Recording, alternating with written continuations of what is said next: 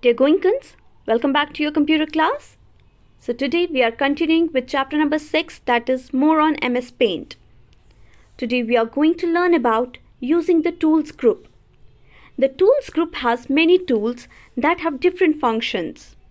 Like we have select tool, pencil tool, fill with color, text tool, paintbrush, magnifier, eyedropper, eraser, line tool, curve tool, polygon and many more tools. These tools help us in making drawings. To use any tool in the tools group, we have to simply click on that tool and the tool will be selected. After selecting the tool, we have to follow some steps. Number 1. Move the pointer to the drawing area. Step 2. Press and hold down the left mouse button and drag the mouse to draw picture. Number 3.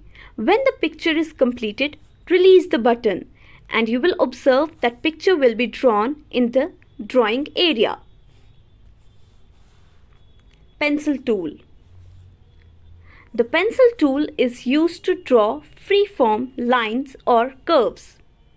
To use a pencil tool, we have to follow some steps. Number 1.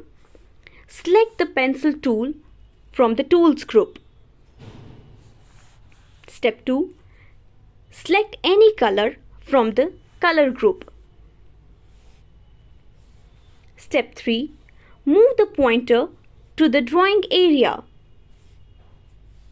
Step 4. Press and hold down the left mouse button and drag the pointer to draw any picture in the drawing area. So in this way we can use pencil tool from the tools group. This was all for today. Take care. Goodbye.